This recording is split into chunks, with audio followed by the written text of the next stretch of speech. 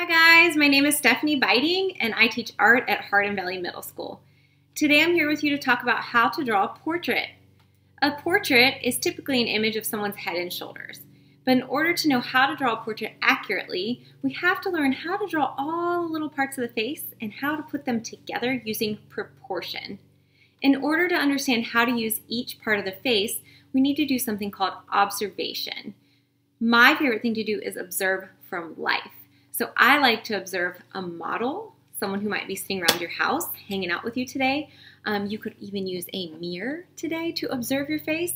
You could grab a device, whether it is a tablet or a phone, and snap a picture of your face or someone else's face, or even use an older photograph, whether it's one on your device or laying around the house. Next thing you're gonna need is something to draw with. It really doesn't matter what you use to draw. I'm gonna just use a pencil and an eraser today. Um, if you have a Sharpie or um, a regular old marker or any sort of colored pencil, any of that will do. If you're gonna use something like a marker that's a Sharpie, you definitely wanna put something underneath it so it doesn't mess up your parents' coffee table. Next thing is something to draw on. You can use a sketchbook, you could use just computer paper, or you could just use some colored construction paper. Any of that will do, even lined notebook paper. So why don't you go get all your stuff and we'll get started.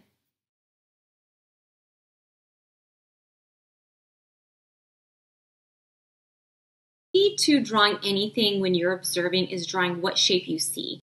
The tear duct is on the same side as the nose, so it's always on the inside of the face. The outside of the face over here does not have the tear duct, so the tear duct will be in here closest to the nose. So just remember that. Um, but if you're observing, you'll be able to know because you will see it right here. But I'm going to start on the outside of that. Sketch this eye up just know that if yours doesn't look exactly like the photo, that is okay. You are learning how to draw and you're learning how to recreate the shapes that you're seeing, and that is all part of the process. And use that eraser to adjust it. If you see, like, oh, that's off a little bit, just erase it. Or if you don't have an eraser, just draw it again in another spot on your page. That's all right. That's why people practice. That's why we do things over and over. Picasso drew over and over and over. Van Gogh painted his sunflower 16 times. Okay, so let's look at this under eyelid. I'm going to go up. It goes up, down, and up. So I'm getting all these shapes carefully laid out. I'm going to look at the whites of the eyes outside the iris and say, See how that fits in here between the colored part, the iris, the white of my eye, and my tear duct. So just trying to create that shape. It's more like a quadrilateral in here that I'm creating. Maybe a little bit more organic of a shape than that, but that's all right. So I'm understanding it's creating that shape with those lines there. Your iris and your pupil are always going to be completely round. But the problem when we talk about that is that you don't see the top part or the bottom part of that iris in the, because it's covered by the eyelids. So you don't see it here or here. But if you start drawing these shapes here and understanding, oh, that is as round as I can get it, that will help you placing that in there and making it look more realistic. So don't fret over that, but know that you're typically not going to see the white below or above unless you see like a scared or excited expression happening in someone's face. All right, so we've got that started. Let's talk about the crease before we talk about the pupil. The crease behind the eye. Notice how it's really close to the tear duct here. It's really close space-wise, and then it gets a little bit wider away from the eye as it goes up. So don't be afraid to mimic that in your work as well.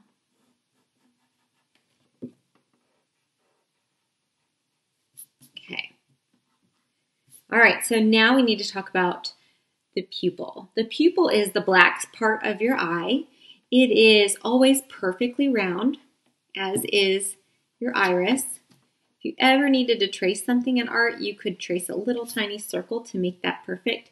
I see that her pupil is closer to the top lid, so I'm going to make that happen. I'm going to put it a little bit higher up in her eye. Maybe she's looking a little upward. And then there's one really important thing we can't forget about, and that is this reflection. So there's a couple different ways I've seen people do reflections. What we're going to do um, to make it easiest is we are going to kind of draw it in one spot and to make it the most readable in your work. And you want it to kind of go in and out of both the iris and the pupil. So you can just give yourself another circle there. Um, and we'll fill in around that as we go. Um, let's also talk about the eyebrow. Her eyebrows are very blonde, so they're very hard to see, but typically the eyebrow starts about here and ends about here. So you can kind of sketch those lines there and follow along eyebrows or short little hairs. They kind of go up at the front of the brow and as they start to go across, they might lean back. Don't be afraid to observe your image closely to kind of see like, how thick is my person's eyebrows? How far do they go across the eye? Some might go in a little further, some might go out a little further. That's what makes us unique and gives us all a little bit of a different look. And that's why observation is important because then you can really start to make your image look like the person you're drawing. Okay, so then I can just erase these lines out. Got her general eyebrow sketched in there. Okay, so now let's talk about value. A value scale is typically five, the best are typically five to seven values. So I'm going to use a heavier pencil pressure to give myself a dark value. Then I'm going to lighten up my pressure, give myself a lighter value. Maybe go over it one more time. So I want to gradually get lighter with my values as I'm making my scale. One, two, three, four. We could say my next one would be my five, which I'll draw a block around it to make it my white. Okay, so I've got my darkest dark all the way to my lightest light. So my black essentially to my white, and in here is my midtones, which creates a little grayscale okay? So let's talk about these values in the eye now. I'm going to start with the tear duct here. That's kind of maybe in between, we'll call this five, four, three, two, and one. Maybe about my three to four. So I'll make a three first, and then if I need to darken it up, I can always go back. I also want to think about these white parts of the eye. They are not as white as the reflection. They have a little bit of value in them, and that is a good thing to go in and add some of that. So maybe add a little bit of two in there, kind of giving yourself a little bit, and you can even take your finger and smudge it if you're using a pencil. Um, that creates depth in your eye. Your eye is round, it sits back and it gives it a little bit more form. Same with the other side. You see that this is got a little value in here. I'm going to just kind of swirl my pencil real softly. It's called scumbling and give myself a little bit of value blending it with my finger. Okay, so we also have some value kind of going back behind the eye with this crease. I'm just going to smudge a little bit in here with my pencil. Kind of smudge what I see. It'll start to give your whole face depth once you start really studying those values. Another thing we need to talk about is this bottom lash line. I forgot to put those in. We'll do that last. But there are two lines below your eye, and that is where eye closes, and you have lash lines that come out from this bottom line here. We'll add those in at the finishing touches. Now let's talk about the pupil. Our pupil, would it be, what do you think? What color on here? Probably a five, right? So we're gonna fill in that pupil now, one thing to avoid having pencil lines when you're doing something like this, swirl your pencil. Use that scumbling that I talked about before and give yourself a little extra pressure to fill in and create that nice dark tone. Also, if you need to turn it to make your pupil as round as possible, turn your page. That's okay. You do what works for your wrist, and it doesn't matter at the end, it's done, right? Because you were able to make it happen. So if you need to turn your page to create that shape, go for it. Okay, so a little off still. Touch that there. All right, so now let's talk about adding in your, seeing it's a little more off here. I'm going to make it a little bit larger on this side. Okay, all right. So now let's talk about adding in the values around the eye in the iris. So this colored part where it has the little muscles that open and close your eye um, when it's too light or too dark. So, all right. So when you add these little lines in, they're kind of like little fibers that go like this out in the eye. So if you look closely, you can see that they're fibers. And I always like to say they kind of radiate out like a sun. You can see she has a lighter area through here, so I'm going to use kind of a hatching technique where I'm going to draw these little lines going out, and I'm going to do less lines where I want it to be a little lighter, and more lines where I want it to be a little darker. You can always go back and erase some to lighten up the value. But I'm trying to look at where it goes lighter through here. And again, I'm turning my page if needed to create those little rays coming out of the eye.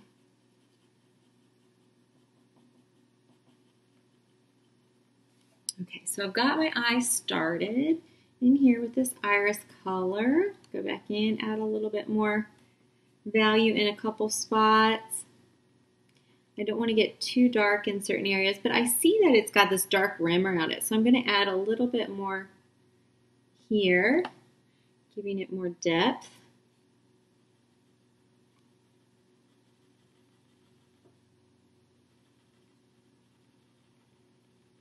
All right.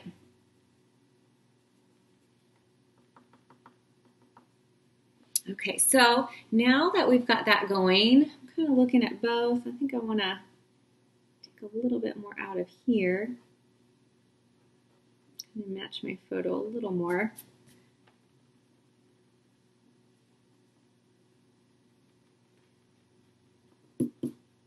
Okay, and sometimes you can see that erasers aren't necessarily like mistake tools. They're tools to alter your value. So they can be used in a lot of ways. All right, so we've got this going here. I'm even going to take my finger and kind of blend it a little. Just smoothing it out some.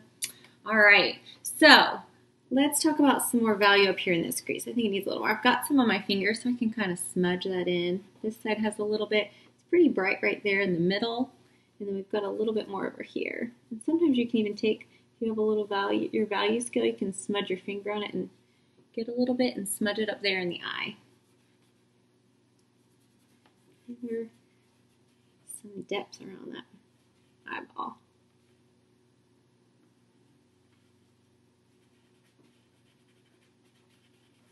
Okay. All right, last but not least, let's talk about eyelashes. Now, there's always the debate. I have boys in class that say, Miss Biting, I don't want to draw big, long eyelashes. Do I have to draw eyelashes? You have eyelashes. Now, girls want to give themselves these big, crazy eyelashes, um, but let's talk about the trick to eyelashes. You can see she doesn't have a ton of big, dark eyelashes going up in front of her eye like she has mascara on or anything like that. She has these little natural eyelashes that go out to the right that we can see. Um, to me, the trick to an eyelash is the quick flick of the hand. Like push down and pull it up and flick. And they typically go like two out of one spot together, like that. So, also, you, if you're on the right side of the eye, you're going to draw it. The eyelash is typically going to the right side, and the left side of the eye, you'll go to the left. So just kind of observe in the mirror a little bit and kind of notice what happens with your eyelashes because they're kind of coming straight out at you. So it's a little hard to understand which way to draw them. So I'm giving her a few here and there. You want to have them kind of some different lengths, some a little longer, kind of going different ways. You want it to come right out from that upper lid. So if you need to edit and kind of push a little bit more value there, that is okay too. Um, so we've got these going one way. Now we're in the middle. So I'm going to start going the other way. Even though I can't see them in the photograph, I know she has some eyelashes there, so I'm going to draw them in. Um, nice flick of the wrist there to get some natural eyelashes going on. Draw one going up in the middle if you need to. Um, bottom lashes. So remember, we had this double line down here for your bottom lid. I'm going to go back in and touch it up with a little more value because I've been smudging down there a bit and erasing some. So I've got this bottom lid going here with my two lines. And my eyelashes are going to come out from this bottom line. So what I'll do is I will take and I'll do a little, and I can't see hers in my photograph, um, but you can see there's something happening here. So I'm just going to do a few. I know she has some there. Again, I'm on this side. Trying to make them come out of the same spot if I can. They kind of all go different like different angles, different directions a little bit. All right, I can even add a couple in here if I want and imply that there's something happening over there. But you just want to be real soft with them. Don't want to go too crazy. All right. Let's talk about how to draw the nose. We're going to start with the outer nostrils first. I like to think about them as like parenthesis kind of shapes. And then we'll move to the inner nostrils. And I like to think of them as kind of upside down hooks or J's. And they kind of fit, like this curves under and they kind of fit right inside of it parentheses. So remember, you're observing what you see to help you understand that shape and how they fit together. So really look at it and study what direction does your line go? How does it curve? Does it actually connect in the middle or not? You can even just imply it a little bit there and not connect it all. We're going to use value to build up this ball and the bridge of your nose. We're not going to draw lines up here. Um, so let's talk about value. Remember, we have our little value scale, our five, our four, less pressure, three, even less pressure. Might have to go back and darken your four a little bit more to make it fluid. Gradual change, two, and then your one. All right, five, four, three, two, one. So our midtones our highlights, and our shadows.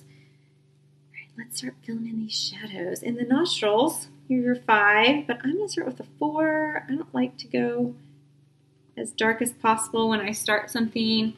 Just like to gradually build it up. I'm gonna put in maybe a four here as well. And then I'm gonna start building up around the, the ball of the nose, which is down here at the bottom. So I see that there's a little bit of value down here. I'm going to just kind of swirl my pencil to create those values building up around here. This might be like a three. Build it up the bridge with a three. I'm swirling my pencil really lightly to build out to a four. I'm going all through here and looking at these values right now.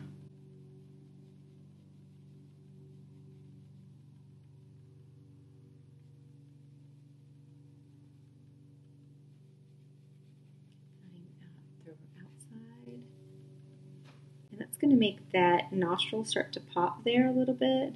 Got a little bit of value down here underneath as well. Um, out here, I'll just work with that. Okay, so I'm going to softly have this go up and down. I can take my finger and start smudging it and blending, creating that shape.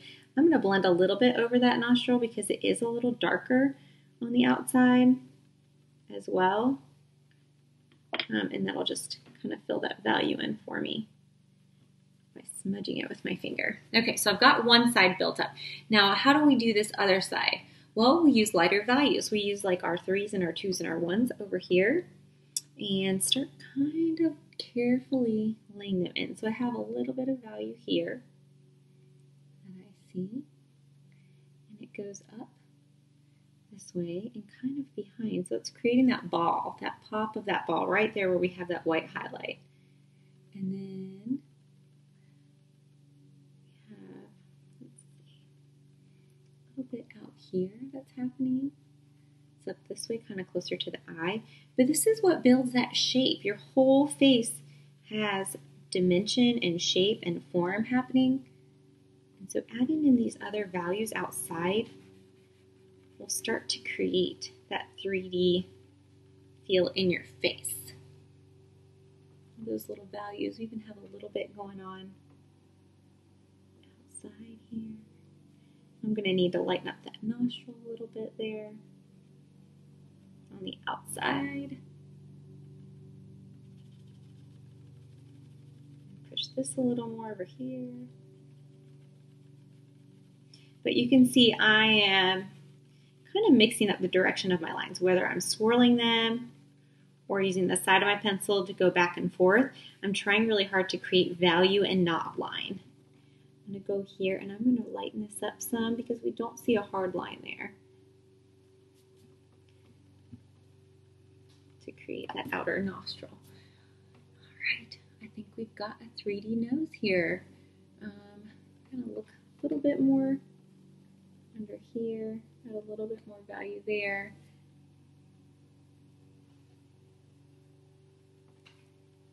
Blending with my finger. And I can even go back in here and erase a little bit more out to make sure I have that pop on my nose, on my ball of my nose, and my bridge.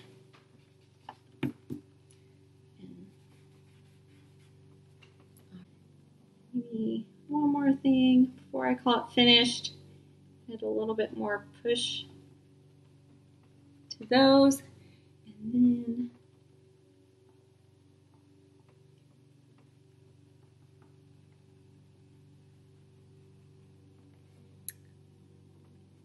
yeah, you want to make sure you get those level fives in there if you haven't yet.